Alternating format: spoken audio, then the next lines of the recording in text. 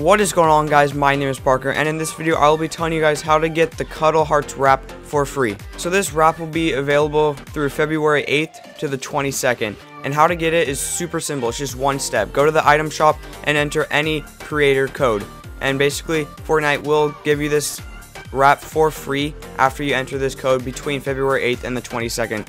So guys, I know that was a very short video, so if you did enjoy, be sure to smack a like on it, and if you are new, please subscribe for more videos just like this one. And guys, be sure to click the link in the description below to check out my merch, and also follow me on Instagram and on Twitter. So guys, I'll see you in my next video.